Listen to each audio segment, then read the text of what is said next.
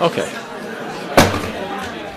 So I think we should start right on time this time. Uh, again, I'm Fabio Chiusi. Um, I'm a journalist for L'Espresso and a fellow at the Nexa Center of Turin for Internet and Society. And with me, I have the pleasure uh, to interview Owen Jones today, a writer at The Guardian, commentator, and you know, political activist. Can we say that? Yeah. And um, I have a lot. The, the, topic is very broad, as you see, but I, I will try just to give uh, some introductory remarks to give you a flavor of what we're going to be talking about. I think and then we'll see where the conversation goes, opening up to the public, of course, uh, to the audience. So, uh, democracy is actually apparently in bad, bad shape, and we have a lot of data confirming what we all can see, basically. Uh, we have, here in Italy, we have every year demos, uh, surveys about, you know, people uh, being in, um, for democracy or for authoritarianism. And actually, what, what's mind blowing is that one Italian uh, in three are indifferent between authoritarianism and democracy, or even prefer the former. And it's a trend that has been consolidating right now. It's, gonna, it's been going on for, uh, for some years. YouGov's, uh, YouGov study uh, interviewed like 2,000, uh, 12,000 uh, people across the continent in all of Europe and nearly half of the adults in 12 European countries, they hold extremist views on immigration, on nationalism, and even opposition to human rights law. I, I, was at a human rights conference in Brussels last week, and the first question that actually popped up is, does anybody care about the human rights framework anymore? Nobody actually does, apparently. And so we have this combination that YouGov labels authoritarian populism, also last July, two researchers from the World Values Survey and, and Harvard political scientists wrote, published a paper in which there are some kind of uh, very, very scary developments and findings. One of them the, was that more than two-thirds of American millennials do not consider it essential to live in a country that is governed democratically.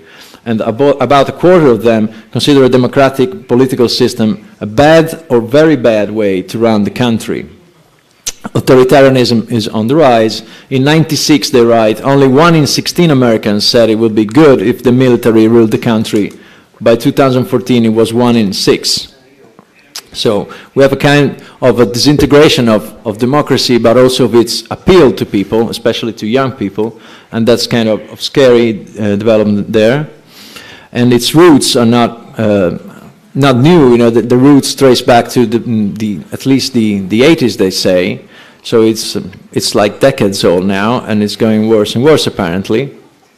But now, today, you know, we've seen like populists, as they say, it's a word that I don't particularly like, but anyways, you know, demagogues all over the place are winning elections. You know, we have like one uh, in the White House right now, for those who don't know. but, but, you know, uh, the, the threat appears to be bigger now than ever. So uh, Owen here wrote one, in one piece in, in The Guardian, I think it summed up pretty good. And he, sa- he wrote, democracy is a bundle of rights and freedoms wrested from the powerful. But it is naive to regard this concession as permanent. Yet my impression is that, you know, this wrestling part, the struggle is not as strong as it should be. You know, so we've seen. It's true. We've seen we've seen women marching in all of the states. You know, we've seen thousands of protesters in Russia last some weeks ago. And yet, it seems to me, you know, that this political struggle is not exactly at the level. Uh, it's not the level that it's supposed to be to, to face such a threat. So do we need, my first question is, do we need to escalate the political conflict, the level of conflict? Do we need to, to bring more conflict to the political spectrum to actually try and reverse this trend? Uh, well, thank you. Firstly, it's an honour uh, to be here. Um, and blimey, that is a profound question. Um, well, the conflict has been, I mean, it's just a matter of, of, of, of fact. We don't have to create a conflict. Mm. Uh, there's a very serious conflict of ideas uh, and movements uh, all over the Western world. Look, what, if we think back to the financial crisis of 2008, I think there was this naive view combined with Schadenfreude on sections of the left. Look, everything we've said, was argued, has been proven correct. The market left untrammeled uh, has uh, and, and not regulated has plunged us into crisis. The greed of those at the top of society. Uh, free market ideology lies in ruins. A left will rise from the rubble of the financial sector. That hasn't quite happened as some probably hoped. And it was naive, I think, for a few reasons. Firstly, a crisis of capitalism, you would imagine, would automatically be uh, beneficial to the left. But history, I mean, that's, you know, it's counterintuitive to suggest otherwise, but that history does suggest otherwise.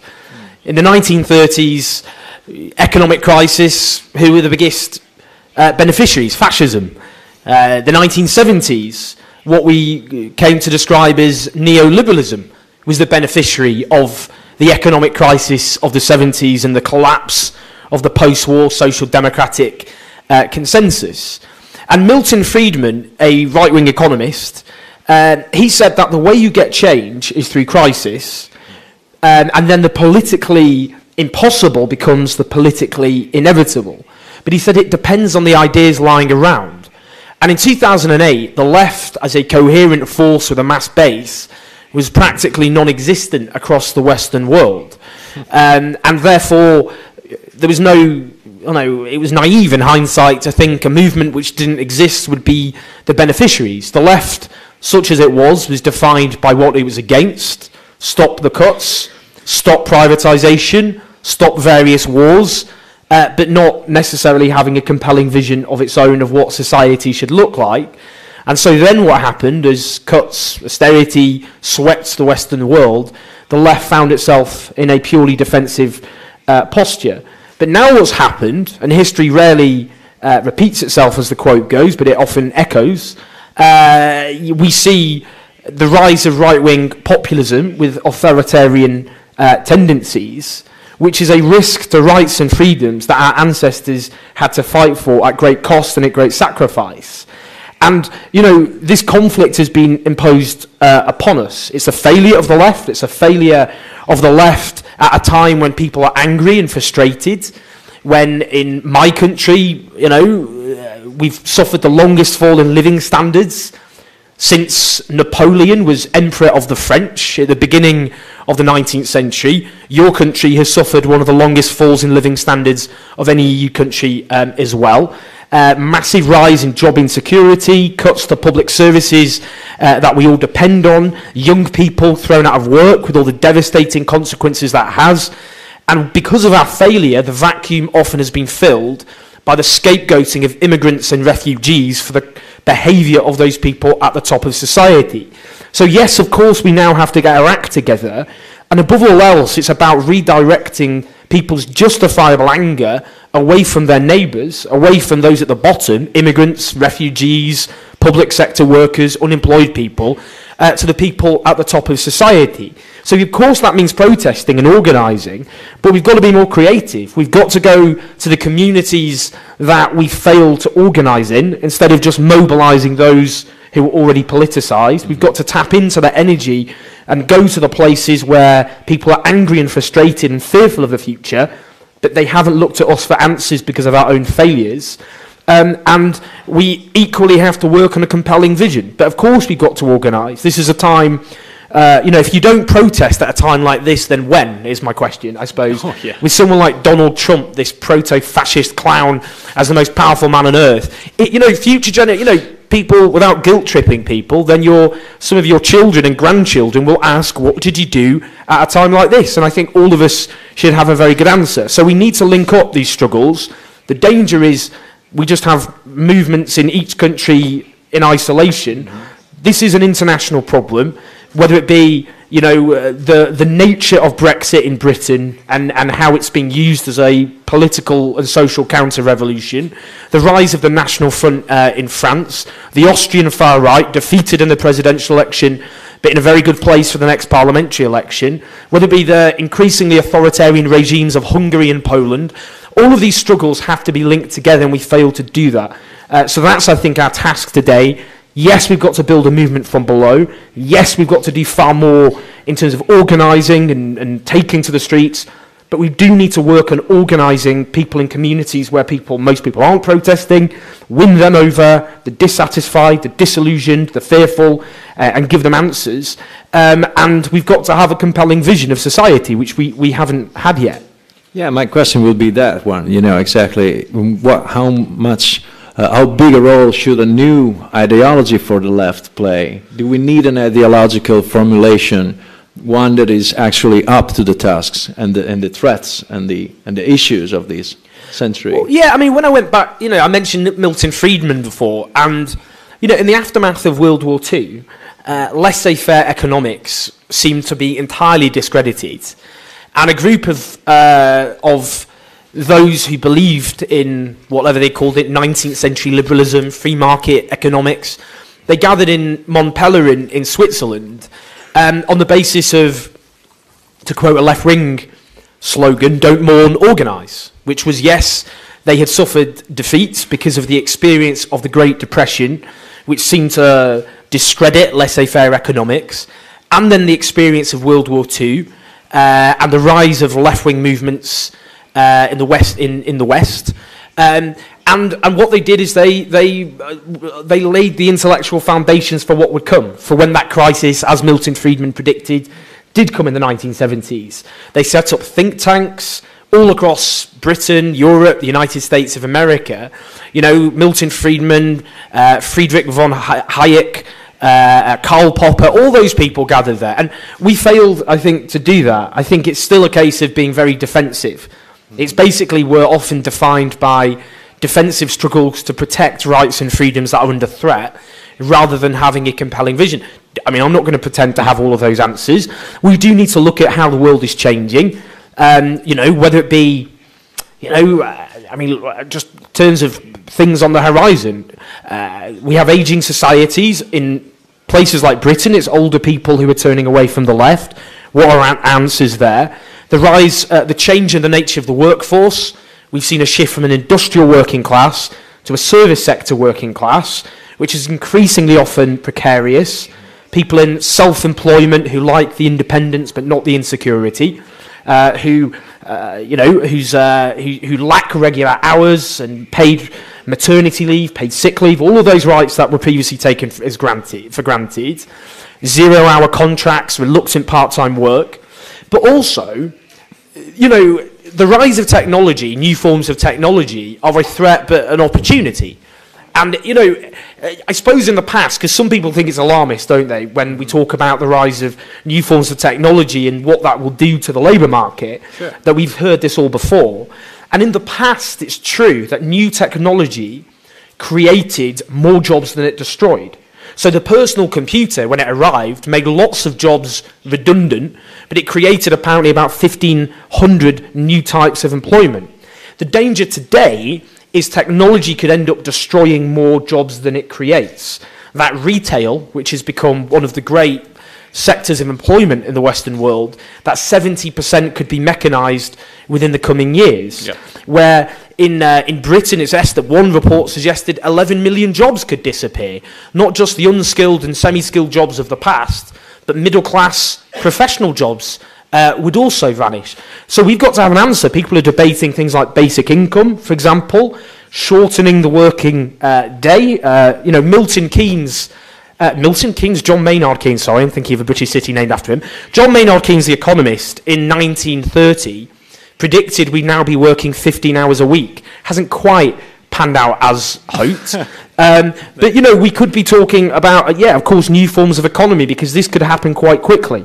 So we've got to adapt to how the conditions are. All too often, we're looking at the challenges of the 1970s when we had an industrial working class built around workplaces we, we don't have communities based around call centres and supermarkets in the way we did around mines and steelworks. So the way we organise and the policies we argue for have to be different from in the past. Yeah, my point is what we organize for. You know, I'm taking your example with technology, for example. We, I don't quite, I'm not quite sure what the left thinks, for example, of this whole automation, you know, mm-hmm. issue. Some, I, I, I think about two scholars, Nick Srnicek, Alex Williams, they published an essay on Verso. They say we should be automating, uh, we should embrace full automation, you know, mm-hmm. and, and, and revive the old end of work promise, you know, in which, you know, we, we just lay back and do creative things, you know, and let the robots do the job, you know, and produce everything. And on the other side, you have like uh, other leftist movements trying to regulate, trying hard to better regulate technology. On the, it is completely opposite, you know, and so, and so we should ban some form of automation. We should regulate, uh, have government intervention, for example, in algorithm, algorithm dictatorship. We, we, we've been talking here like a couple of hours ago. And I'm not quite sure, you know, how, how the, how, what, what, what the left should do under this, this respect. First of all, we should be studying these issues mm. better, maybe. But we should also try and propose some solutions. Otherwise, you know, populists get in and, and just reverse the anger against the immigrants, against, you know, your fellow neighbor. Well, that book, Inventing the Future, um, which yeah. you, have mentioned, yeah, exactly, um, which I thought was a, a, very compelling piece of work oh, because, you know, it argued that work was becoming increasingly precarious, that was just the direction of travel. After World War II, we had virtual full employment across the Western world, mm. and that age has come to a, an end, quite an abrupt end in, in, many, in many cases. And, and the danger is then you get a workforce, you get a, di a diminishing workforce, and those who are kind of superfluous to need mm -hmm. uh, are, are demonized, as they are in countries such as my own, those who uh, are not in work are, are, are demonized for the way society is structured, the lack of decent, secure work, which has mm-hmm. disappeared in much of the Western world. I mean, I, I tend to favour what that book, Inventing the Future, argued for, because realistically, are we going to start arguing for the banning of I don't know, self-service machines in supermarkets. It just doesn't seem realistic or, or, mm. or hmm. feasible. So you, have got to talk about a new economic model. It's the same. I mean, we look at Uber. That's a big challenge which the left, you know, tends to, to speak talk about. And you know, one suggestion is where we could have cooperatives set up. Co you know. Uh, cooperative models of, yeah. of, of those form using technology, new forms of technology, obviously, but where instead of denying workers basic rights, because in Britain uh, Uber drivers were classed predictably as self-employed, so that mean they, that meant they couldn't be paid a proper wage, they couldn't have paid sick leave, maternity leave, and then they had a big struggle in a court case which stripped them of self-employment right and gave them employee uh, protection rights instead. But it's a big struggle going on. But to make it viable, instead of having for-profit models like that, we could have cooperatives run, run by, uh, by drivers and others. So, you know, I think there are ways of adapting to this the right of, techn- of technology, the new forms of technology, without removing rights and protections uh, from working people. And I do think it's healthy that we should be talking about reducing the amount that we work. We spend a third of our adult life, uh, on average, subservient uh, to employ and to employers.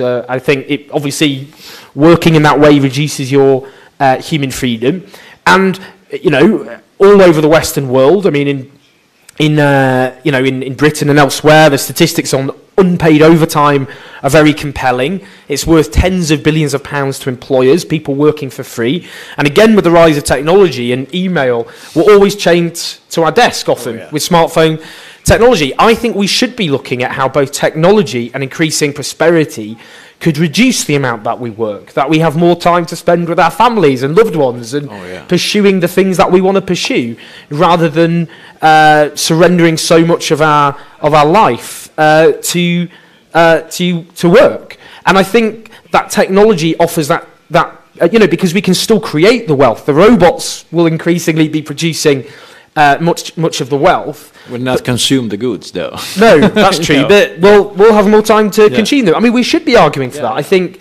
you know, we work. I think yes is very fulfilling for lots of people.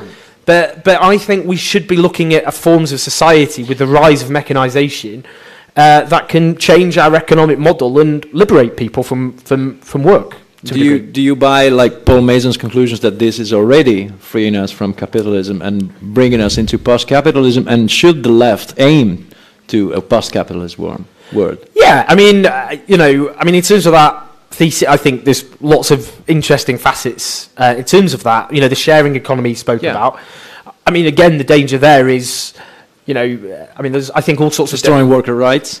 yeah. Did, exactly the race to the bottom, uh, and in terms of what that's doing to the economy of you know, and also who, not, not everyone can afford to to do that, or they're not in desirable uh, locations in terms of Airbnb, you know, things like that, for example. But I yeah, I mean, I think, you know, for me, what we need to be doing is building societies that uh, put profit for a tiny elite, uh, you know, sorry, we need to build societies that put people's needs and aspirations ahead of profit for a, uh, for a tiny elite. Um, and that means, you know, I think, you know, take public ownership. Instead of the old form of public ownership, which was very top down and bureaucratic and undemocratic, uh, so bureaucratic, undemocratic, and so on. We should be looking at forms of democratic social ownership. I gave the example of Uber, but you know, I mean, in Britain, our, I mean, I don't know if anyone's been on the British Railways, but it's a They are a disaster. They're a national embarrassment. Um, you know, we have this fragmented, inefficient, privatised system uh, where uh, you know, it, it's, it can be cheaper to get a same day flight to another European city than it is to travel in your own country. Uh, where, you know, it's, you know, you, you know, if you, if you had the, the honour of being on one of these trains where you're crushed against the window, having spent a huge amount of your pay packet uh, for the ple- for the honour of doing so, you know. But instead, what we could do instead of the old form of nationalisation, we could bring the railways under democratic ownership of passengers and workers. So I think kind of how we democratise the economy and the workplace, I think are great challenges, rather than top-down bureaucratic models that we used to have in the past. And in Britain, because we got under Thatcherism the mass privatisation of publicly owned utilities, but the truth was that was easy to do because people didn't feel they genuinely had a stake in those services. They didn't they feel they were often responsive to their needs. So there was often, if not outright public support, public acquiescence in the privatisation of services and utilities that in theory belonged to the British people, but it didn't feel like that to people. But if you have democratic social ownership, then that would be very different. It's an alternative to both the market and to top-down statism. Do you see the internet right as it is right now as an enabler of this kind of, of new forms of ownership, or, or is it a threat to to it? Because you know uh, it, it's another thing that struck me of, of the left in, in this contemporary debate. You know, at, at, we we both idolize the internet and, and see and, and see it as an, a, a land of um, infinite opportunities, you know, and digital democracy and participation, and we should be writing. I, oh, even in the UK, I think the LSE had a team trying to crowdsource a constitution, you know, and there is like quite quite good effort in there. But also, what we read every day is like you know these debates about fake news, hate speech, you know, uh, and po- political polarization, which- which is actually happening, and we don't really know. So, how do you see it? Is this are these factors enablers of of a new social movement from the left, from uh, from the bottom? I mean. Well, in theory, I mean, I'd caveat it because I think, I mean, the, the, the debate about fake news is interesting because fake news is a threat. And, it, you Yeah. know, if we look at the rise of various right wing populist movements, um, another, another popular, I mean, the five, you could argue what the five star movement is, but in terms of various populist movements, fake news has often been a driver. I mean, I think it, you know, when you get very polarized societies, that's when fake news comes into its own because it reinforces certain prejudices and uh, beliefs that people have. But I, I suppose the reason I get frustrated is it's not like fake news is a new thing. I mean, much of the mainstream press, the mainstream media, if I think in Britain, many of you will know about the Hillsborough disaster of 1989 when 96 Liverpool fans were crushed to death. And the main newspaper in the country, The Sun, peddled outright lies and falsifications to blame the fans uh, for their own uh, for their own tragedy, making up lies about fans urinating on the bodies of of dead, dying fans, of sexually assaulting them and pickpocketing. All lies, all propagated by the main newspaper in Britain, on the page three of which had, uh, for, until very recently, uh, a woman topless every single day. Now, this peddling of, of this of these lies had terrible consequences for those families who had to fight for justice and they had to fight for truth. Truth and justice, that was their struggle. Equally, during the miners' strike in Britain in 1984, um, there was a time when the police charged at the miners. Liberty, the human rights organisation, called it a police riot. The BBC, the esteemed BBC, put the tape of that incident in a different order to make it look like the miners had charged at the police. And equally, when we look, you know, there's a journalist called Richard Peppiatt in Britain who resigned from the Star newspaper and newspaper after being told by his editors to make things up about Muslims in order to incite prejudice and cater to the worst hatred that people have. Equally, that could go on. People's attitudes about immigrants, refugees. Uh, people think there are far more immigrants than there are Muslims than there actually are. People in Britain, on average, think there are 20 times more teenage pregnancies than there are. I'm not just saying the media just brainwashes everyone, it's more complicated than that. But the media does have the mainstream old the old media has played a deeply pernicious role in spreading outright lies which have divided people, increased intolerance, and distorted people's view of the world. So let's not pretend this is a new thing. Oh, yeah. But equally, you know, I think clearly there are, there are possibilities for the left when it comes to the online world. My fear is with social media, often with Twitter, for example, is its users disproportionately tend to be younger and tend to be more affluent on average. Um, most people are getting on with their lives. They're not debating politics on Twitter. They've got families, they've got jobs. They'll come home at the end of the day, listen to a bit of the news. And, the, you know, in the last general election, I think a lot of people on the left were shocked. They were like, blimey, Everyone on Twitter hates the Conservatives. Um, you know, if Twitter was accurate, the Conservatives would, you know, Labour would have won a 150 seat majority. They didn't. And that's often because older people who the left needs to win over, because Labour only had, sorry, the Conservatives at the last election, they only had a lead amongst people over 44. The very sorts of people who are least likely to be using Twitter on a regular basis. But I think, you know, Facebook is arguably more demographically, it is more demographically representative.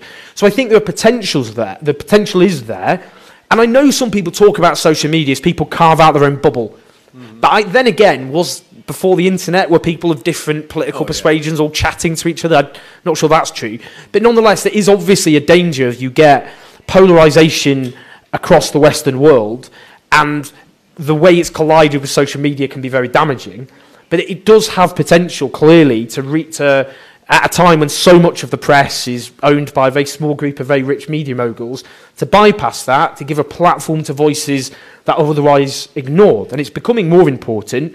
But equally, I think the left sometimes falls back on, the, on, on social media as this, yeah. This is the way we'll bypass the mainstream media. And that's not going to happen because the vast majority of people still have to be reached in other ways, including you know, organising in the community. Yeah, which brings me to America. You know, America also had this problem. We, we read from a lot of liberal commentators that Trump won the election because of Facebook, you know, of course. And that's, of course, you know, exactly been debunked by what you say. But you also wrote that the American left would be reborn under President Trump. And one of the of the of the sentences I, that struck me is you wrote, "Now it is the time for the left to craft a populist alternative." Why populist? What do you mean by populist? Well, well, first of all, I think um, I mean the Itali- uh, sorry, the American left has arguably already been reborn. The the American left is stronger now than it's been in in four decades, and you've seen the biggest mobilization of people in the history uh, of the United States of America. Uh, you've seen, particularly amongst with the Bernie Sanders campaign, what it did. You know, he was a septuagenarian Jewish socialist uh, from Vermont. You know, the most unlikely of candidates who, in a normal year, would have got one percent or something uh, in the Democratic primaries uh, against what was then arguably the most powerful political machine in the United States a country where scholars have always debated the lack, the absence of socialism the, in, in America. It's what made American exceptionalism partly. And it was in 2016, you know, 15 years or so after the end of the Cold War, when the most successful socialist in the United States had his campaign. Um, and, and what he did is he mobilized disproportionately younger people. So in some primaries, 80 to 85% of people under 30 uh, voted for Bernie Sanders. Um, and that doesn't, because if you look at all the polling when it comes to the economy, attitudes to the word socialism for that matter, uh, the welfare state, all the rest of it, there's a marked difference, a marked difference between so-called millennials, 35 and under, and older America. Completely different perspectives. Everything from trans rights uh, to government intervention in the economy. And, and Bernie Sanders, the whole point of that campaign given it didn't win, was to build, to help rebuild that mass movement. And that's what's happened. I went to the United States in January. I went to Washington, New York, North Carolina, uh, and Chicago. And all of these places have these growing grassroots movement, disproportionately winning over many younger uh, Americans whose lives are deeply insecure. Uh, and I think that's very positive. In terms of populism, clearly, you know, that has a lots of negative uh, connotations to people. I suppose, look, I look at the example of Podemos in Spain, a party which you know, was emerged from the so-called indignados. Sure. Uh, well, it wouldn't have ex- come into existence without the indignados of 2011, when millions of Spaniards took to the streets. We had the occupation of squares. Um, and, you know, you got the anti-eviction movements, hundreds of thousands of Spanish uh, families thrown from their homes, uh, and this great anti-eviction movement, um, and in a country where half of young people out of work with life-scarring consequences, and you know that created the space to which Podemos emerged. Now, Podemos, you know, within two years of being founded, became the third party, one of the three major parties of Spain. They got millions of votes. And, and bear in mind, in Spain, there was already the United Left, there was already a leftist movement, but it had a ceiling of support. You know, it could only get about 10% most. Podemos got more than double that ceiling, if you like. And I think what they did is they upset people traditionally on the left, because they said, you know, the frame they try to use, it's not about left or right, it's about the people and the elite, which is a populist kind of terminology. And the point Pablo Iglesias, the leader of Podemos, said, he said that most people in Spain don't cry at the same songs that I do. And what he meant was that he grew up in a leftist family where leftist uh, ideas and symbols were very familiar to him, but that wasn't the experience of most people in Spain. You know, the colour of Podemos uh, is purple. You know, when they, the leaders come onto the stage at rallies, they don't come onto the song of the, of the tune of the Internationale. They come on to the tune from Ghostbusters instead. and, but what they've done is they've had a... Fr- because most people don't think in terms of left or right. I do. I'm a sad, pathetic politico. Most people don't think in terms of left or right. They think in terms of issues to be addressed in a way that resonates with their experiences and told in a language they understand. This is a time when people are very angry with elites. The right wing populists have very careful, very successfully uh, won over. You know, they've, they've marshaled that anger in, in a certain direction. That hasn't happened in Spain. They're notable as a country with, very, with no mass anti immigration party of any major you know, European country. They don't have anti-immigration uh, rhetoric is not the central axis of Spanish politics or even close, like it is in so much of the rest of Europe. And that's because you've got a form of populism, which was, yes, obviously a leftist movement, but framed in a different way, in a far more clever way that reached beyond the traditional confines of the left, which the United Left, we'd already seen its limitations in Spain. So I think, yes, we need to say we're, we're building a kind of uh, a people, which you define who the people are, against an elite uh, who are a threat to democracy uh, and, and a threat to the rights and freedoms that people have won. And that isn't something many people are comfortable with. But I think if we look at the state of the left in this country, or my country, or other countries, I think we need a bit of humility when we look at what's happened in Spain and what they've achieved. Not, they've not achieved what they'd like, they're not in government as things stand, but in a very short space of time, they've had a great success, and I think we can learn from that approach. Yeah, it's time to read some Ernesto Laclau, you know. Yeah, Definitely. And last question before opening up to the audience. I know you're writing a book about the politics of hope. yeah. Sorry. Sounds like satire, though, doesn't yeah, it? sounds. what, what, what is this? You know. What, yeah. What, no, what, what, should we hope for? So I'm really selling the book, aren't I? Yeah. Um, so no, no. Obviously, there's lots of hope. No, what what I'm trying to do is so this book is is going to come out in Italy and Italian next year, but lots of other. Uh, it's going to be published across Europe, uh, Asia, and the United States. And I suppose it's going back to what I said uh, towards the beginning because you know I've done two books which are about Britain specifically, yeah. but they're analyses of, on the one hand, class and class inequality, on the other, the establishment about who has power. And partly for therapy, just because I want to cheer myself up, I want, I want to write about, uh, instead of whinging about how negative and terrible and unjust things are, about what we actually do about it. So, on the one hand, the book is going to look at uh, things we can learn from already, which actually exist. I don't know, drugs decriminalisation in Portugal or the Finnish education system that doesn't have private schools, and so on. The other is to look at ideas we haven't uh, implemented, so basic income and so on, and how that could work. And the other is individuals and movements collectively organising against injustice. So I'm travelling everywhere at the moment. So I've been interviewing people here in Italy, but Turkey, Hungary, the United States, Austria, France, Scandinavia, uh, and so on. So the, the idea is to try and have an international book which looks at strategies that are working, yeah. you know, what actually is working, and, and to try and find a way at a time of right wing populism, of insecurity, of fear for so many people, what kind of, what, how can we succeed as a left, as a movement, in at a time where if we don't succeed, then I'm afraid the vacuum will be filled by right wing populists. And I don't think the future does belong to the Donald Trumps or the Nigel Farages or the Marine Le Pens or the Orbans. It doesn't belong to those people, but it does need reflection on the part of the left. So it's partly me being self critical mm. because I think there's a collective failure of the left oh, yeah. to have a clear, compelling alternative. So that's what I'm trying to do in this, in this book. Here's what an alternative could look like based on learning from the experiences of people struggling all over the world. So you did find commonalities among all these countries. Exactly. Yeah. That's well. That's Even in Italy, for. Italy has something good to bring up to the to the yeah. debate. Yeah. God, yeah. Well, that's uh, that's news, you know. Uh, well, yeah, I mean it's difficult, isn't it? But I mean, yeah, I mean, it, I, yes, I think yeah. there will be okay. things in Italy. Okay. So there will. after this shocking, you know, revelation, uh, I will be opening up to the audience because I, I'm quite skeptical about down there, down there. Oh, there are lots of questions. Uh, if somebody can help with the mic, thanks. Mm. Uh, there, yeah. Thank you. Well, okay. Well, first of all, I mean, as an Italian, I wanted to thank you. I mean, it was the level of the, the conversation was really something. And uh, I wanted to ask, I mean, we're talking about automation and generally speaking, you know, skills bias, technological change. But isn't that kind of like already like conceding a point?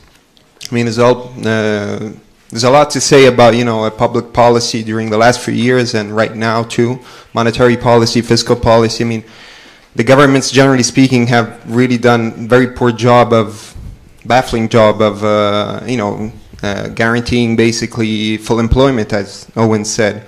So shouldn't that be kind of like a priority and kind of like what makes the problem of automation a problem in itself?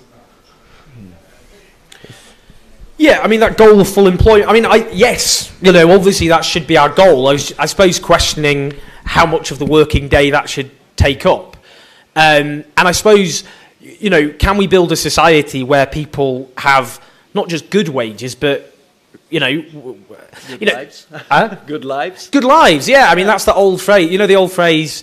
Uh, you know, we don't just want uh, bread; we want roses. You know, the goal of the left is not to aim for subsistence. It's not to aim for just survival.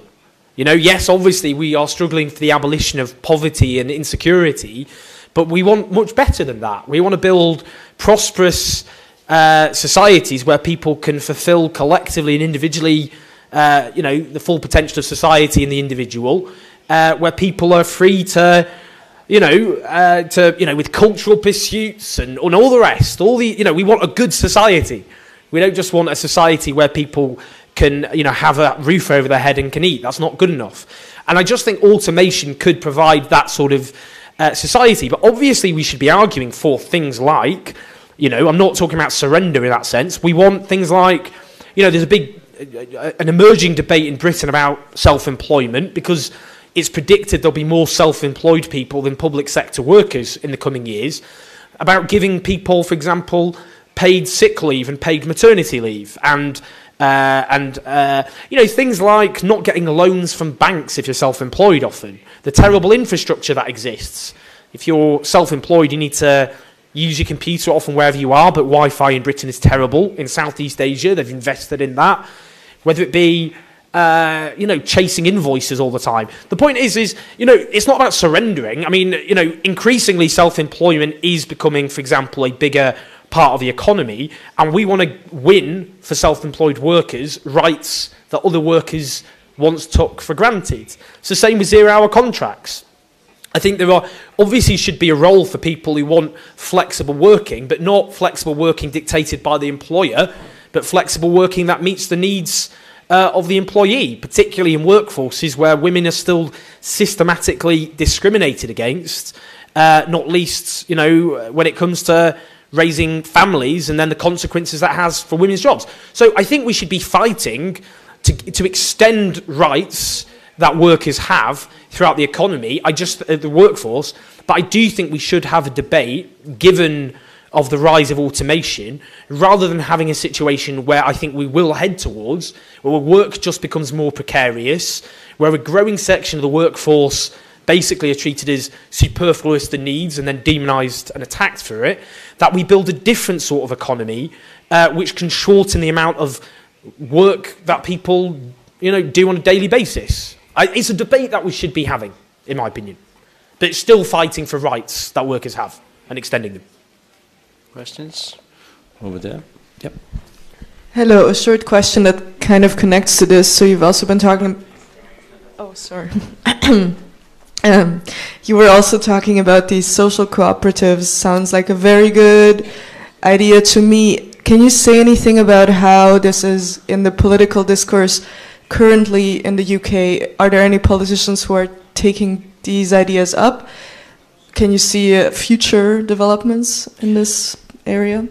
Yeah, very good point. Well, despite the problems afflicting the Labour leadership, which is probably another conversation, unless someone asks about it, uh, but they have been talking about this. The Shadow Chancellor, the Shadow Finance uh, Minister John McDonnell did a speech where he looked at, for example, cooperatives when it came to Uber uh, and, and other such services. I mean, other examples are things like delivery, you know, Deliveroo, which is has horrendous terms and conditions for workers. They're classed as self-employed, so they don't get a proper wage, proper rights. So yes, Labour has made a pitch about this. I, I, I think you'd probably, you know, have to. I don't think people are aware of it. It's not in the public consciousness. Uh, and there are lots of reasons for that, but Labour are making that, have started to make the case for that. Because I think for a while with Uber, the danger with the left is that we ended up in a, in a, in a kind of uh, not very, an untenable situation where we just railed against it on the basis of what it was doing to workers' rights, but it's kind of trying to stop the inevitable. It was barking at thunder. And instead of saying, well, actually, what could a left response be? that could both, both fuse people's desire to have use their technology to have easily, you know, kind of accessible taxis wherever they are, where they can, you know, that's a very good thing. But in a way that it's not run for profit, but it meets the needs of the drivers. So yes, I think that debate is starting, but I'd be lying if I said that, you know, probably more than 0.1% of Britain knew that debate had happened, if that. But it is, it is emerging as a debate, yeah. Um, down there, back there. Um, thank you. My question, I think, will be quite short. Um, you, you mentioned them in passing, but I was wondering if you could say, from a left-wing perspective, what do you make of the five-star in Italy? Um, and since you've been traveling in Italy, whether you've met any of them and what you think of them. Thanks. Uh, great question. Five star movement. Mm, interesting. They're quite unique as a populist formation in Europe because you can't easily categorise them as left wing or right wing populists. Um, arguably, some of their element, and I haven't met them yet. I am intending to, by the way, to ask to talk to and interview five star movement people. Um, I think you know it's interesting because a lot of their demands, you know, that they've argued for traditionally come from the left, like public water uh, for example, which is obviously one of the five demands. Um, and I think what happened, and people in this room, this is what I've just, in the last few days, talking to people, kind of and researching and the rest, uh, because I was always curious about the five star movement. They've clearly filled a space which a, a savvy, uh, strategically able left could have filled. But, but what you've seen with the five star movement, I think, is some argued originally that at least what was beneficial is they weren't indulging originally in anti-immigration rhetoric at the core of what they argued for, unlike other populist formations, but that's clearly changed. And you have obviously growing a growing shift towards th those sorts of arguments.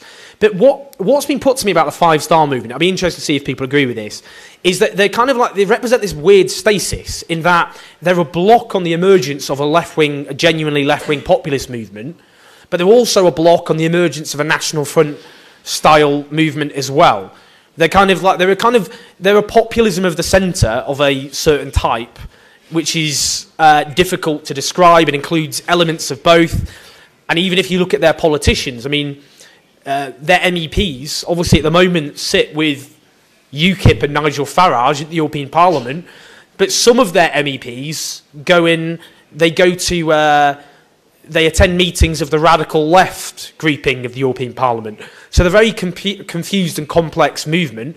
I would say their internal contradictions are impossible to keep them together in the long term.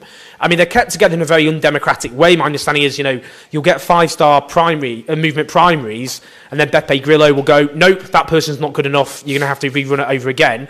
So the idea of participation, grassroots participation, which was part of their initial appeal, I don't think is real. I think they're actually a very top-down hierarchical formation. But as I've said, it'll be interesting to see what happens because uh, unless people believe otherwise, as a coalition, they're full of so many contradictions. I can't see how they'll last. And if they do fragment, it will be interesting to see if you get a national populist movement, not just like the League of Nord, uh, you know, the Northern League, but a national kind of uh, populist right-wing movement, and maybe something like Podemos. That having met people on the left in Italy over the last few days, I can't see a, something like Podemos getting off the ground as things stand. So it'll be interesting to see what happens with Five Star in that sense. Probably the only real post-ideological movement we can mm. see, you know. I don't, I'm not particularly fond of post-ideology, but this, no. I think it applies. Um, uh, here, in the front. Thanks. Thanks. Thanks. I've got a question about the UK. Um, I wondered how important you think it is for the left to rally around the Labour leadership, whatever its shortcomings, um, compared to maybe focusing on other struggles to achieve the kinds of changes you've been talking about, especially with Brexit being underway. Thanks. Hmm.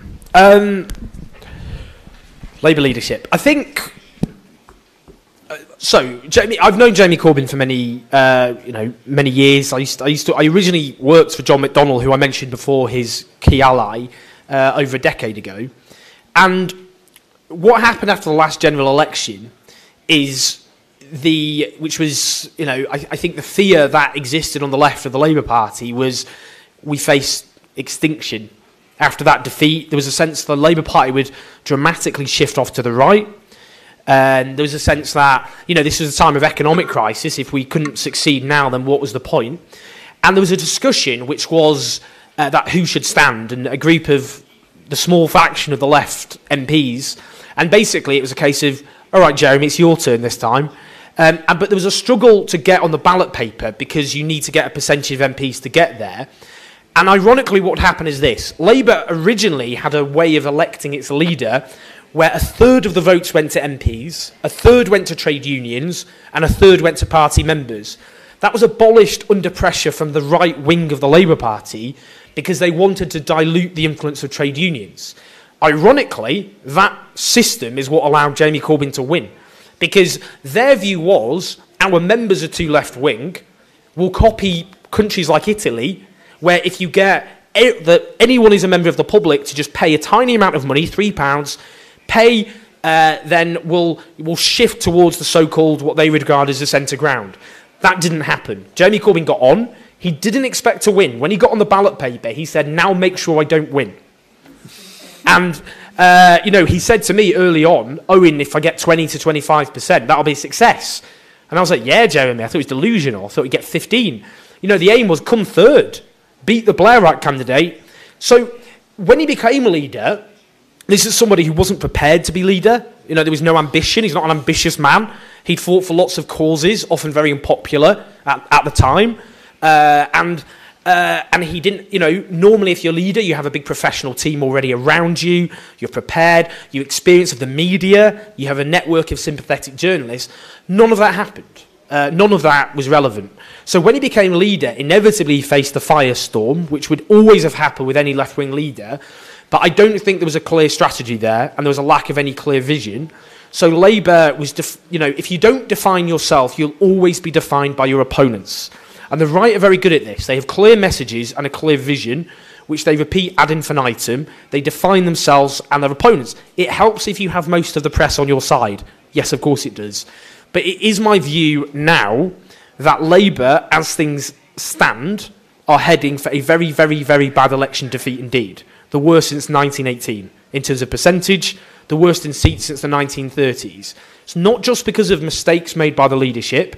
Brexit is a big, big problem for the Labour Party because some Labour voters, particularly younger voters, particularly people in cities, they hate Brexit. It's a, the worst thing that's ever happened. It's a nightmare to them. But for other Labour voters, and these tend to be older, working class voters in the north, they think they've got their country back. They're jubilant about it. How do you keep that coalition together? That is very, very hard, and any leader would struggle. My fear at the moment, and I've been very open about this, is because uh, that Labour is heading for such a bad defeat, and there hasn't been a snap general election, there could be one, in which case Theresa May will win a huge victory. Jeremy Corbyn will then resign, the, Labour, the left will be blamed for that defeat, and the Labour Party will shift off to the right. And I don't want that to happen. I think the left will be, it will be a terrible, terrible defeat for the left, which will be very, very difficult to recover from. Not because the policies are unpopular, investment in the economy, not cuts, public ownership, tax justice, workers' rights. Polls show these are all popular things. But unfortunately, you know, the polling now shows in Britain he's less popular than Donald Trump. And in London, uh, his approval rating is minus 44%. And that's in London, which is you know, where his politics really should resonate the most. And I think for me, I don't see how that is going to be reversed. There's no historical precedent for such ratings to be reversed. I haven't seen the strategy there to reverse it. So my own view is maybe it would be better to do a deal whereby, or have an approach where somebody else from the left can take over, who can start from the beginning, learn from the mistakes, have a clear vision from the outset, uh, because otherwise, and that's my own view. Now, people, some on the left, don't like that view, but it is an honest view because I, I, I do not want Labour to suffer a very bad defeat for which the left is blamed. Um, and I think we can avoid that. We can have a left wing government in Britain. It's not easy, but I can't see at the moment how that will be possible as things stand. I can't. Question? Um, do you see any role by television for this populist, for this rise of On right, television? of television and television news, um, for the rise of uh, right populists? Oh, I see. Because apparently, I mean, many public televisions used to be very close to the left, and now it's changing, or it's already changed. And much of the political influence actually comes from 24 hour news channels or basically television as a format. Do you think there is any hope for a, for a television that would help the, the, the left populist? Populism, at least. Well, I mean, in America, they don't have. Uh, in Britain, supposedly, we have broadcasting rules which uh, enforce so called impartiality. Now, I don't think the media is impartial. I'm not talking about the press, I'm talking about TV news. But nonetheless, in, in America, um, you don't have those rules. And in practice, what that means is there aren't many rich people who are sympathetic to the left. So TV stations end up like Fox News that are privately owned tend to be very supportive, obviously, of the right. So that gives them an inbuilt advantage. The right is always going to be favoured by media moguls. Media moguls overwhelmingly tend to the right. That's no surprise. They're very rich people. They want lower taxes on themselves. Uh, they have an employer-employee relationship, so they obviously are often opposed to trade unions and workers' rights. Uh, you know, they support deregulation, partly for their own business reasons. So the danger is obviously with TV, as things stand, with the rules that America has, that will always favour the right, and it did with Donald Trump. He's obviously a reality TV star, that helps. But even, you know, I think what happened, you know, during that last election, and I, you know, I do think we partly have to look at the failures of the Democratic, the terrible failures. A lot of people, I think, it's very comforting to go, ah, oh, it's all Russia, rather than look at, you know, the the terrible failings of the Democratic Party establishment. But nonetheless, obviously, it's true that, you know, TV throughout treated uh, Donald Trump uh, as this fascinating phenomenon, and, and, and, and, and he got the, the coverage he received, including by those opposed to him, greatly helped him. There's no question of that. I don't know, but as I've said, I don't see how the left can, unless you get unions which put all this money into setting up their own TV channels, it, it doesn't seem that realistic because we don't have the money to do that. That said, I mean, in, uh, in, in Spain, the rise of Podemos partly, it was, for example, uh, La Tuerka, this YouTube channel that was uh, Pablo Iglesias that helped his prominence. Um, and yeah, so you can see the potential there in theory, but I, I guess I guess I just can't see how TV stations owned by media moguls will help ever help the left unless we find a model where we can set up our own TV stations that aren't rubbish uh, and poorly resourced and no one will watch. Uh, and that, so that's a big challenge. I think we have less than five minutes, so one last question or, or two. Okay, two, one, one here.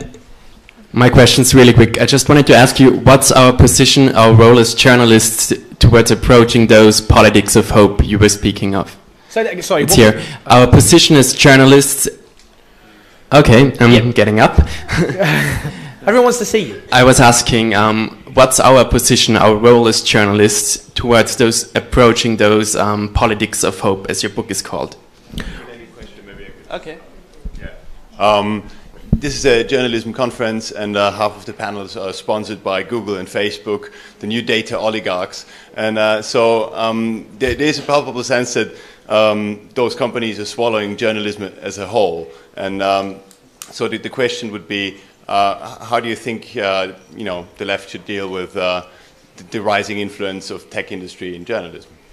Yeah, and as I speak on this Facebook, Google platform, they are obviously a big problem uh, with modern journalism. Well, they are. I mean, it's just pointless pretending otherwise. They're, you know, lots of journalism is being bankrupted, uh, and they're not regulating the news properly. So you end up with the dissemination of outright lies. I mean, the Guardian, for example, has a system whereby you know, uh, if things have got wrong, they're corrected at the bottom uh, very I- immediately. And you know, Facebook and Google, which are devouring all the advertising revenue, as other news sources increasingly go into terrible financial decline with consequences for journalism, um, it is a problem.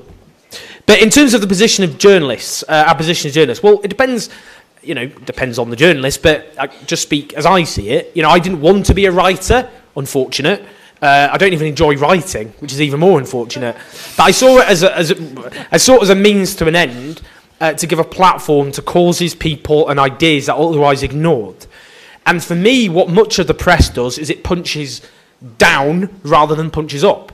So my view is that the role of the sort of journalist or whatever writer that I see myself as is one of challenging injustice, scrutinising and challenging the powerful, and giving a platform to movements and causes uh, and people who are organising against those injustices.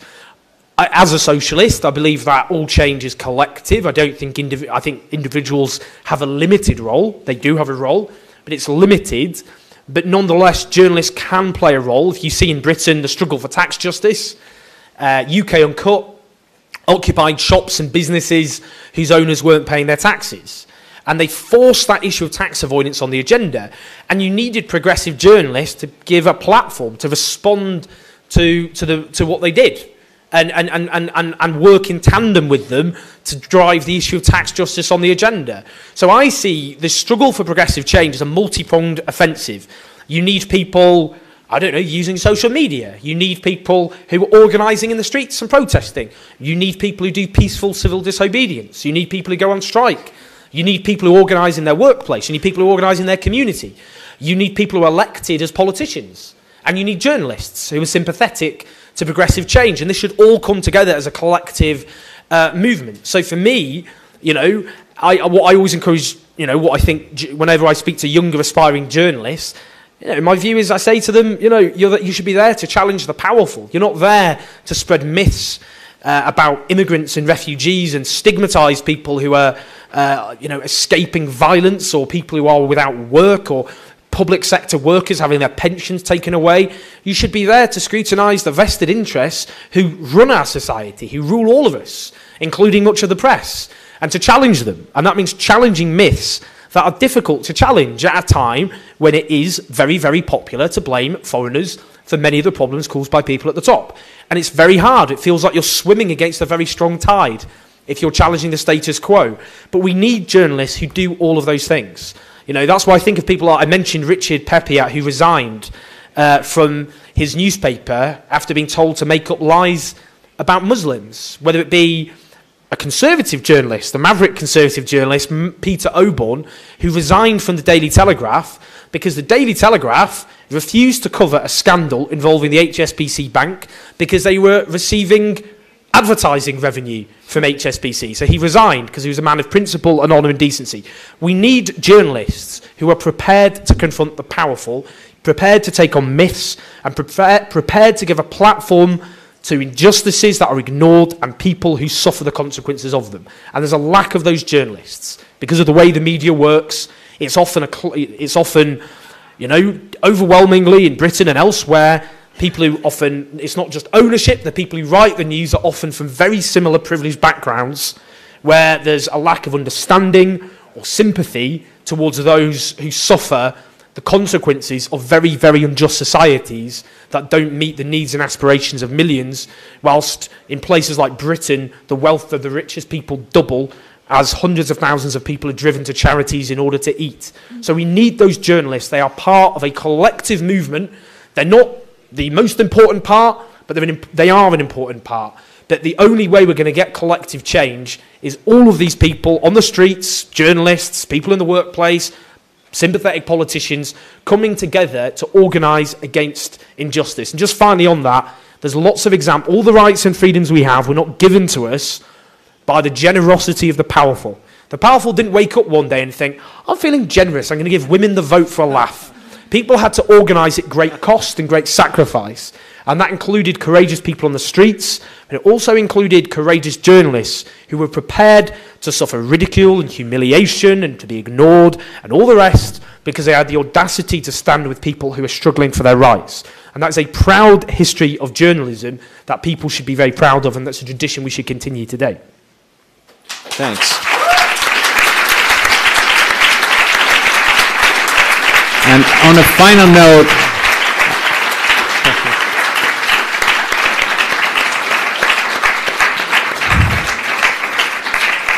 on a final note, I would just like to add, you know, for the last question, that no critique has been spared to Facebook or Google here at Good. the festival. And, and, and I personally did a lot of them, you know, so I'm quite proud of it. So Should thanks, we do a protest? Let's go and protest against them now. Definitely. Occupy, occupy the building. Thanks a lot for being here. Bye. Cheer, and well done, well done.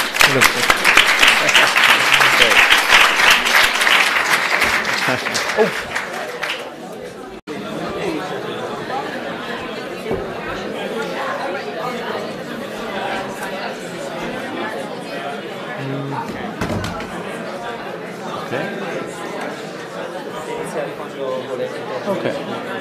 Okay.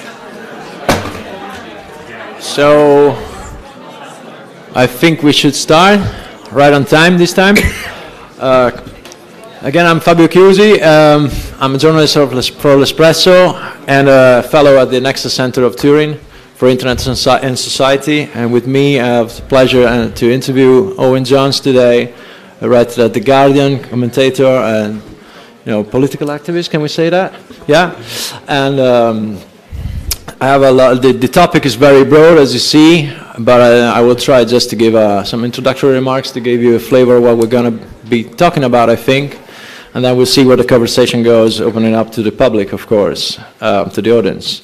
So, uh, democracy is actually apparently in bad, bad shape, and we have a lot of data confirming what we all can see, basically. Uh, we have, here in Italy, we have every year demos, uh, having surveys about, you know, people uh, being in, um, for democracy or for authoritarianism, and actually what, what's mind-blowing is that one Italian uh, in three are indifferent between authoritarianism and democracy, or even prefer the former, and it's a trend that has been consolidating right now. It's, it's been going on for, uh, for some years. YouGov's uh, YouGov study uh, interviewed like 2,000, uh, um, 12,000 people across the continent in all of Europe, and nearly half of the adults in 12 European countries they hold extremist views on immigration, on nationalism, and even opposition to human rights law. I, I, was at the Human Rights Conference in Brussels last week, and the first question that actually popped up is Does anybody care about the human rights framework anymore? Nobody actually does, apparently. And so we have this combination that YouGov labels authoritarian populism. Also, last July, two researchers from the World Values Survey and, and Harvard political scientist wrote, published a paper. Uh, posture. But now what's happened, and history rarely uh, repeats itself as the quote goes, but it often echoes, uh, we see the rise of right wing populism with authoritarian uh, tendencies, which is a risk to rights and freedoms that our ancestors had to fight for at great cost and at great sacrifice. And, you know, this conflict has been imposed uh, upon us. It's a failure of the left. It's a failure of the left at a time when people are angry and frustrated. When in my country, you know, uh, we've suffered the longest fall in living standards since Napoleon was emperor of the French at the beginning of the 19th century. Your country has suffered one of the longest falls in living standards of any EU country um, as well. uh, massive rise in job insecurity, cuts to public services uh, that we all depend on, young people thrown out of work with all the devastating consequences that has. And because of our failure, the vacuum often has been filled by the scapegoating of immigrants and refugees for the behaviour of those people at the top of society. So, yes, of course, we now have to get our act together.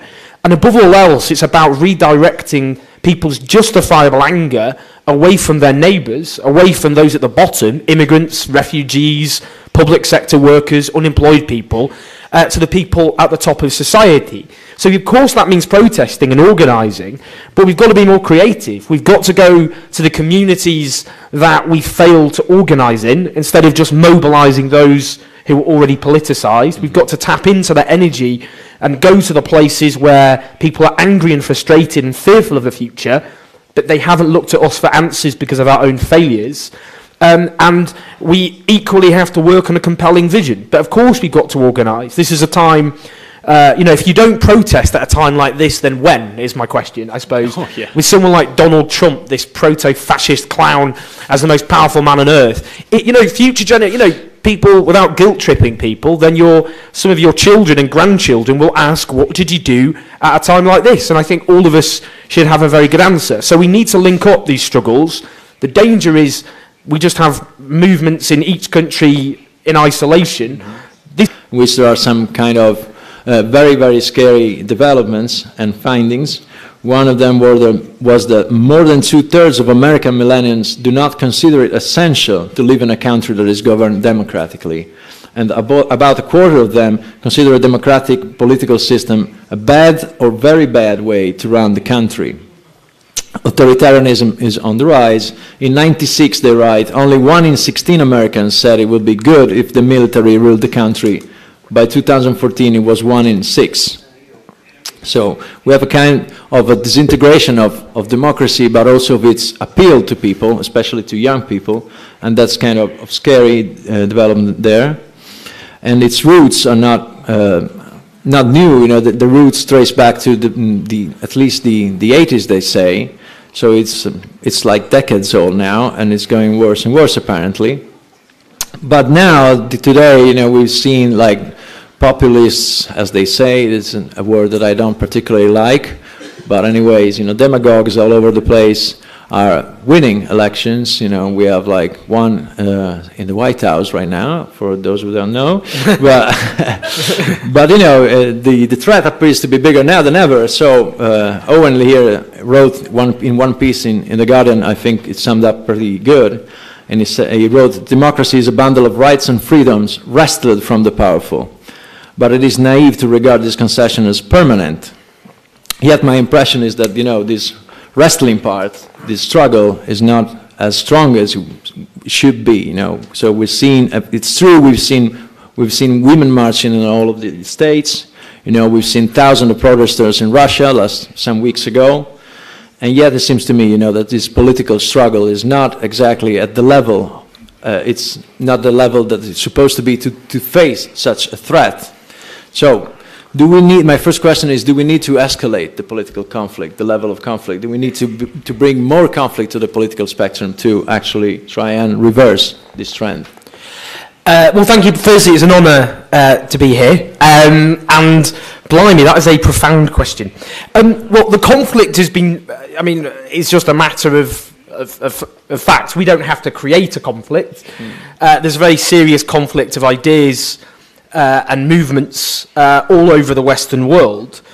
Look, what, if we think back to the financial crisis of 2008, I think there was this naive view combined with Schadenfreude on sections of the left. Look, everything we've said, was argued, has been proven correct. The market left untrammeled, uh, has uh, and, and not regulated, has plunged us into crisis. The greed of those at the top of society, uh, free market ideology lies in ruins. A left will rise from the rubble of the financial sector. That hasn't quite happened as some probably hoped. And it was naive, I think, for a few reasons. Firstly, a crisis of capitalism, you would imagine, would automatically be uh, beneficial to the left. But history, I mean, that's, you know, it's counterintuitive to suggest otherwise, but that history does suggest otherwise. In the 1930s, economic crisis, who were the biggest uh, beneficiaries? Fascism. Uh, the 1970s, what we uh, came to describe as neoliberalism was the beneficiary of the economic crisis of the 70s and the collapse of the post-war social democratic uh, consensus. And Milton Friedman, a right-wing economist, uh, he said that the way you get change is through crisis, um, and then the politically impossible becomes the politically inevitable. But he said it depends on the ideas lying around. And in 2008, the left, as a coherent force with a mass base, was practically non existent across the Western world. Um, and therefore, there was no, you know, it was naive in hindsight to think a movement which didn't exist would be the beneficiaries. The left, such as it was, was defined by what it was against stop the cuts, stop privatisation, stop various wars, uh, but not necessarily having a compelling vision of its own of what society should look like. And so then what happened as cuts, austerity swept the Western world, the left found itself in a purely defensive. Uh, this is an international problem whether it be you know uh, the the nature of Brexit in Britain and and how it's being used as a political and social counter revolution, the rise of the National Front uh, in France, the Austrian far right defeated in the presidential election. But in a very good place for the next parliamentary election, whether it be the increasingly authoritarian regimes of Hungary and Poland, all of these struggles have to be linked together, and we fail to do that. Uh, so that's, I think, our task today Yes, we've got to build a movement from below. Yes, we've got to do far more in terms of organising and, and taking to the streets. But we do need to work on organising people in communities where people, most people aren't protesting, win them over, the dissatisfied, the disillusioned, the fearful, uh, and give them answers. Um, and we've got to have a compelling vision of society, which we, we haven't had yet. Yeah, my question will be that one, you know, exactly. What, how much, uh, how big a role should a new ideology for the left play? Do we need an ideological formulation one that is actually up to the tasks and the, and the threats and the, and the issues of this century. Well, yeah, I mean, when I went back, you know, I mentioned Milton Friedman before, and, you know, in the aftermath of World War II, uh, laissez faire economics seemed to be entirely discredited. And a group of, uh, of those who believed in whatever they called it 19th century liberalism, free market economics, they gathered in Mont Pelerin in, in Switzerland um, on the basis of, to quote a left wing slogan, don't mourn, organise, which was yes, they had suffered defeats because of the experience of the Great Depression, which seemed to discredit laissez faire economics, and then the experience of World War II uh, and the rise of left wing movements uh, in, the West, in, in the West. Um, and, and what they did is they, they, uh, they laid the intellectual foundations for what would come, for when that crisis, as Milton Friedman predicted, did come in the 1970s. They set up think tanks all across Britain, Europe, the United States of America. You know, Milton Friedman, uh, Friedrich von Hayek, uh, Karl Popper, all those people gathered there. And we failed, I think, to do that. I think it's still a case of being very